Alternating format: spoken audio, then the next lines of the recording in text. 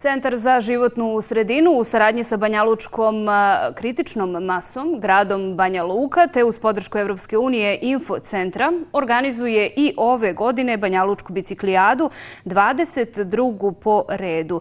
Čini se simbolično upravo danas na 22. septembar, dan bez automobila, ali više informacija ćemo svakako čuti od kolege Imrana i njegovog gosta. Dobro jutro. Dobro jutro, još jednom i lijep pozdrav iz Banja Luke. Svjetski dan bez automobila prvi put je obilježen 1998. godine u Francuskoj, a godinu dana kasnije, 1999. godine, ovaj dan je obilježen i u nekim talijanskim gradovima. Iz godine u godinu ovaj svjetski dan e, dobija sve e, veći broj gradova koji ga obilježava. Kod nas se ovaj dan obilježava na Evropski, Evropsku sedmicu e, mobilnosti, a u Banja Luci će ovim povodom večeras biti održana dobro poznata Banja Lučka biciklijada koja nosi naziv Dva su točka dovoljna o Evropskoj e, sedmici mobilnosti, svjetskom danu bez automobila, kao i o e, biciklijadi.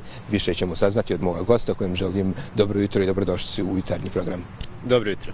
Evo za samim početak da krenemo od Evropske sedmice mobilnosti. E, centar je koordinator. Kako se obilježava ove godine? A, dakle, Centar za životnu sredinu je nacionalni koordinator Evropske sedmice mobilnosti već jako dugo. A, prvi put smo je obilježili upravo na Svjetski dan bez automobila 22. septembra, pošto je Evropske sedmice mobilnosti ali Drive svake godine od 16. do 22. septembra. A, mi smo je obilježili prvi put 2002. godine i evo već 22. biciklijada godišnja ovaj, u kontinuitetu a, večeras od 17 časova. Zbog čega se Evropska sedmica mobilnosti obilježava i koji je glavni cilj ove kampanje? A, dakle, to je kampanja koja je, a, tako reći, stvorena jel, od strane Evropske komisije još te 2002. godine, a cilj je bio da se ponudi a, jedna vrsta alata opštinama i gradovima, gradovima prije svega, ovaj, širom Evrope, a, za, za jednu vrstu promocije i, i preuslovi nekih aktivnosti koje su radili u toku te čitave godine, budući da Evropski sedmice mobilnosti traje samo ovaj, sedam dana, ali se u tih sedam dana zapravo predstavljaju i rezultati ovaj, neke stvari koje su rađene u polju urbane mobilnosti u prethodnih godinu dana, a iste te stvari se mogu zapravo i registrovati ovaj, kada se registruje sama kampanja. A, dakle, u pitanju je jedan alat kada možemo sve na jednom, na jednom mjestu da sabirimo, da odredimo šta smo mi tu uradili za godinu dana, a isto tako i da se na kraju krajeva takmičimo sa drugim opštinama i gradovima. Večeras počinje dobro poznata i popularna Banja Lučka biciklijada, dva su točka dovoljena, e, gdje počinje i gdje će se učesnici moći prijaviti. A, dakle, e, početak same biciklijade je u 17 časova, a, ovdje na ovim a, gradskim štandovima preko puta trga krajine. Registracija, registracija će se vršiti tu, trajaće neki sat vremena, zato molimo sve građane da dođu na vrijeme, da se ne bi stvarala gužva u posljednjim momentima, kao što to inače biva. Ovaj, u 18.00 počinjemo sa vužnjom i vužnja će da traje nekih sat do sat i 20 minuta, zavisi od grupe, zavisi od veličine ovaj, kolone.